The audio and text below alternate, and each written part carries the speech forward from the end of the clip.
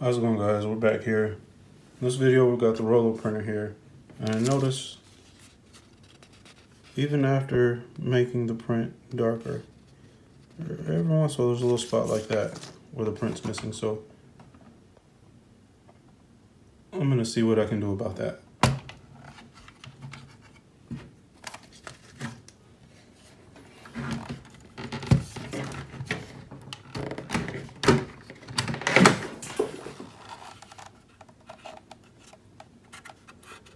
Looks like there's a little bit of dust here.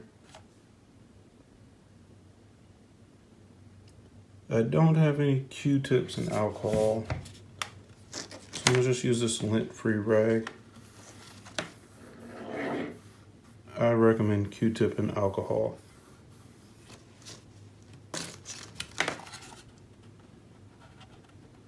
Looks like the spot is still there, so I'm gonna go get Q-tip alcohol and I'll be right back.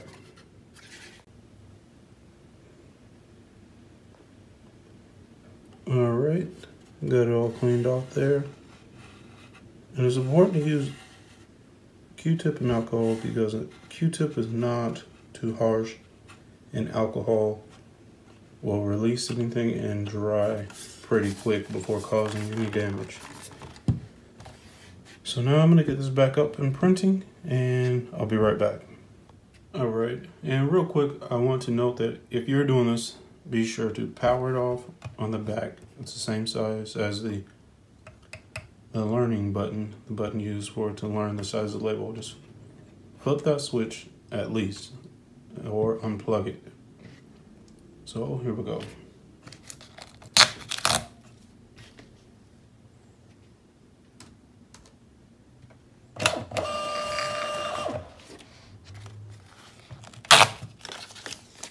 Let's see.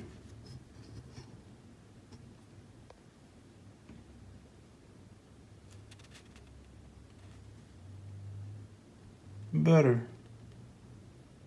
but there's still some spots.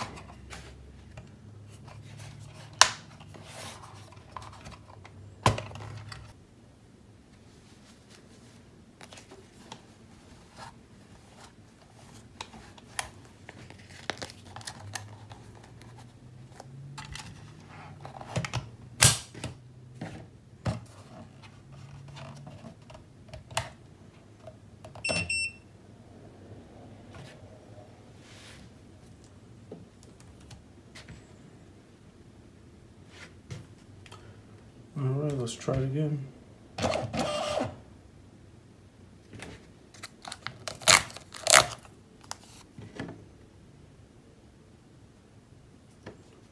All right, that's much better. I think I'm gonna leave it right there. I'm happy with that. All right, that wraps up this video. If you have any questions, please be sure to drop them below or email us. If this video helped in any way, let us know with a like or comment or subscribe. For any products mentioned, I will link them below in the description. Also, be sure to use the coupon code at checkout in the description. Thanks for watching.